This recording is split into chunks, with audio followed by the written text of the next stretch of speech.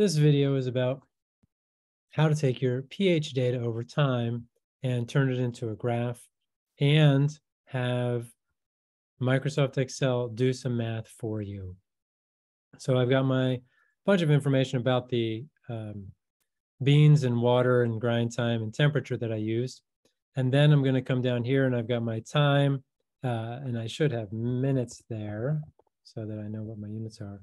pH has no units, so I don't need any units for that.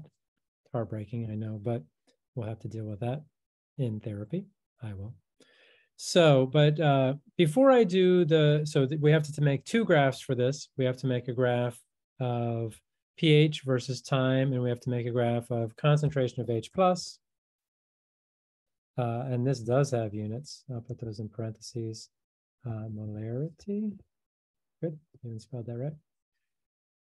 Now, um, what we've said is that the molarity equals 10 to the minus pH.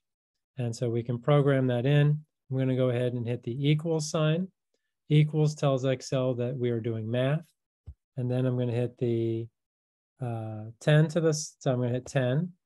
And then I'm going to hit caret. And then I'm going to hit uh, minus. And then I'm going to click over here on the pH and the cell position will appear right there. I will close the parenthesis and lo and behold, the molarity to weigh uh, to so many digits appears in that box. Now, as if, and that is the same number we've gotten before. Now, as if that wasn't enough, if I click and drag, all of them appear here, right? So I clicked on this one, and then I went over this lower right-hand corner, watch the cursor change from a white plus into a black plus, click and drag. Those are all of my molarities, and you can see this one down here is 10 to the uh, raised to the power of B19, which is the one right next to it. Not so bad. Um, and if you're looking for a way that was different than your calculator, you could actually then do equal sign and then do log. You can see that the log function appears. Open a parenthesis, click right on the cell. You can see the marching ants and the color change. C8 is the cell, it is blue, so is the cell here. Close the parenthesis,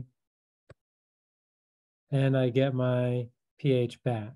So, and I did forget that this is the negative log. So I'll put my minus sign in there. And so this is how you program in the negative log part to go from uh, concentration of H plus to pH. This is my pH again. And another way to duplicate things if you have a list right next to it is you double click. And double clicking does all of them as well. You can double click on that little lower right hand corner. You can click and drag. Well, we have more information than we need here. We don't need these pHs, so I'm going to go up to clear and all. And now I have the information that I want for my graph. So I need to do a graph of time versus pH.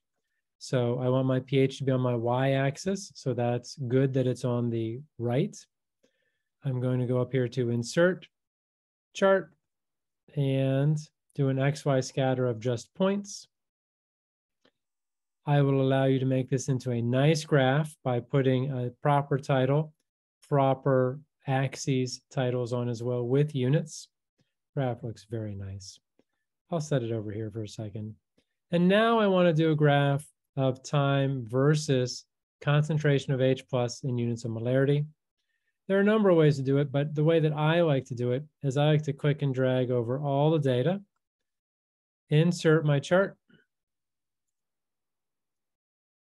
and now I have two sets of data. And you can see, because I've, I've got my chart highlighted here, that there are two sets of data, two Ys, and just the purple is the one set of X values. And this blue set of data is the data that I've already graphed for pH on the other graph. So I'm going to click on this and just hit the delete button.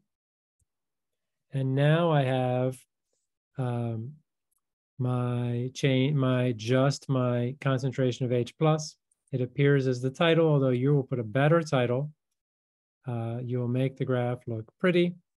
Ooh, this has this down here, whereas this is really my y-axis, which is fine.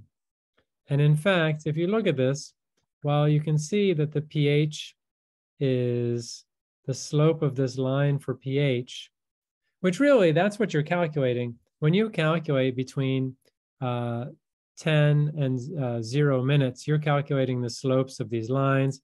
You're going to do this point right here and that point right there. Hmm, let's move it over. Is the 10 minute point. You're going to do minus the one minute point, and you're going to see that there is a change in the slope, or that you're going to calculate the slope. The slope is, if you drew a line between these two points, it's rise, which is the y, over run. That's your rate. Anyway, that's how you make the two graphs. I've shown you uh, in the how to do the points for everything else. Now you've got all your data. So doing your change in concentration, you could put these values. I would not put all the sig figs. I would just round it to uh, uh, sig figs, significant figures, three actual numbers. This one would be uh, 8.71. Let's see, this one here would be 4.90 since the seven rounds up and you'd have 4.90 times 10 to the minus fifth. Don't forget those exponents too. And that's how you do the graphs for this part. Oh.